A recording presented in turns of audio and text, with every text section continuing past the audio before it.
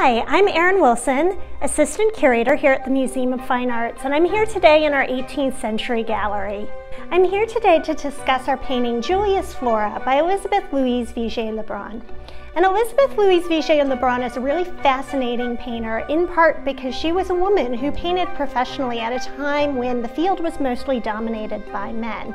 In fact, she gained much recognition um, for her work at a time when it was very much a struggle for her to um, even be acknowledged as such. So Elisabeth Vigée Lebrun was one of the preferred painters of Queen Marie Antoinette.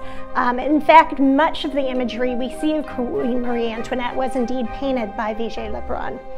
And Vigée Lebrun became a member of the Academy of Painting and Sculpture. And this was an institution that had only let a handful of women in over its 200 plus year history.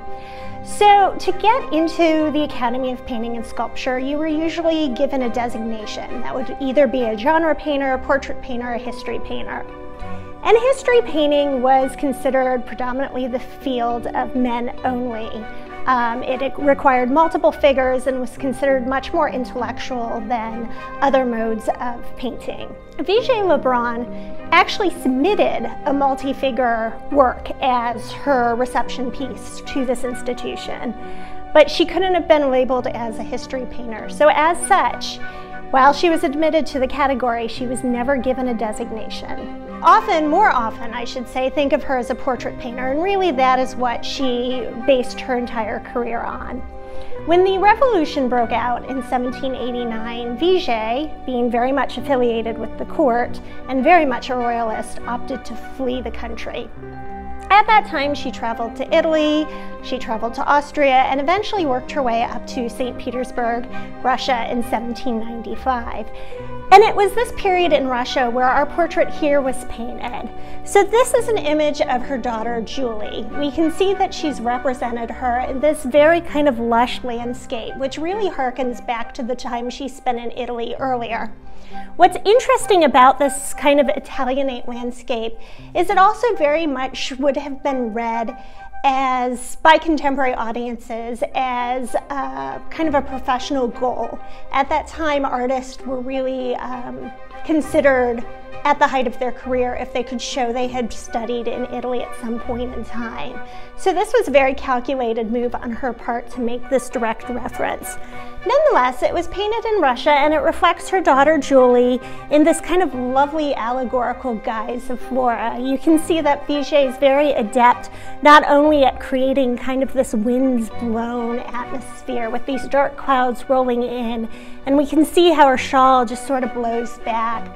Uh, v, one of the things Vigée was very, very good at was creating kind of clothing that sort of fell in these very graceful folds. And we see this very much here in this neoclassical garment that Julie's wearing. Um, we also see Vigée's uh, adeptness at using color, particularly if you look up close, you can see where she builds up the layers of color. You can see blues under the skin tone, reds in her face, to give her daughter this very kind of luminescent um, glow and appeal. So it's very interesting that we have this work because it is the last known portrait of her daughter Julie that Vigée Lebrun painted. Now Julie from the time of her infancy was a very popular figure in her mom's portrait painting and so it's kind of uh, fascinating to think that we may have the last one she ever painted. Shortly after this work was done, Julie ended up marrying a man who her mother disapproved of. And that put kind of a permanent strain on their relationship. While they did communicate, it was a lot less frequently. Um, from this point on up until Julie's death uh, in, I think, circa 1816 or so. It's also kind of interesting to think that this was painted while she was in St. Petersburg, Russia, because it has now found its home here in St. Petersburg, Florida. And it's so nice to think of things that come full circle like that. It was a pleasure to get to speak a little bit about this painting. It's one of my favorites, and I hope it's one of yours too.